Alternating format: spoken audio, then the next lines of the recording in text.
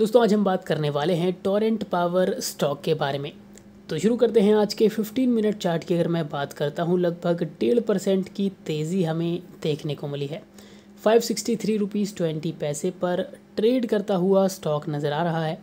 Three hour chart की अगर मैं बात करता हूँ तो एक रैली जो है वो स्टॉक में जारी है।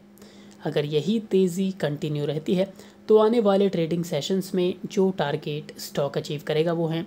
570, 580 यहाँ तक कि 590 रुपीज़ तक के टारगेट भी स्टॉक अचीव कर सकता है। तो अगर आपके पोर्टफोलियो में टोरेंट पावर शामिल है कंटिन्यू होल्ड करें। यहाँ पर एक फ्रेश बाइंग का मौका भी स्टॉक बना रहा है। इन लेवल्स पर अगर आप ऐड करके चलना चाहते हैं दोस्तों बिल्कुल बाइंग करके चल सकते हैं। जल्द ही जो हमारे टारगेट्स हैं वो अचीव होते हुए नज़र आएँगे।